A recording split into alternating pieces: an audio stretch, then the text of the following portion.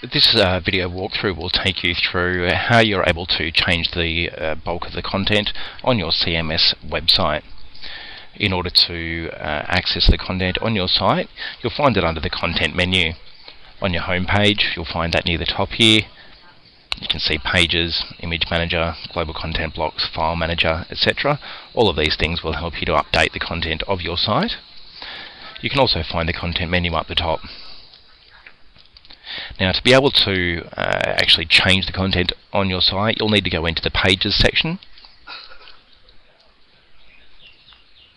When you click in here, this will take you to a list of all of the pages that you have on the site.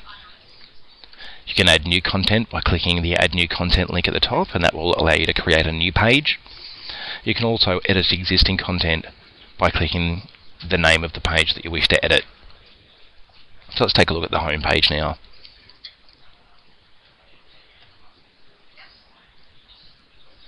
So there's only a little bit of uh, content on here at the moment. I'm just going to show you a few of the basic features that you're able to update. First of all, uh, obviously editing text in here is fairly simple. You've got a variety of buttons that you may recognize from other word processing programs, such as your justification of text, bolding, italic, and underlining, uh, bullet points, numbering here.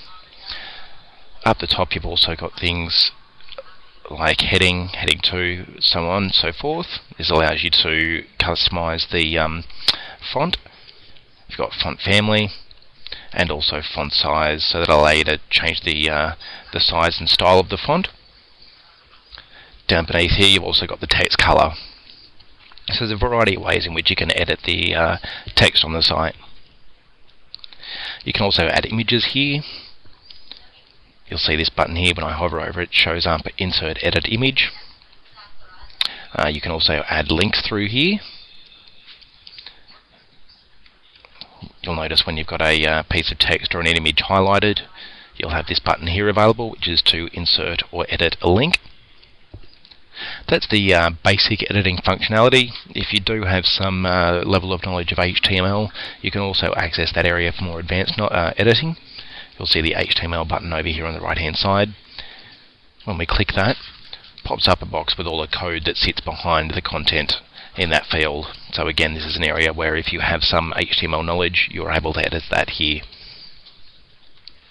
And that concludes this video walkthrough on changing the content of your site.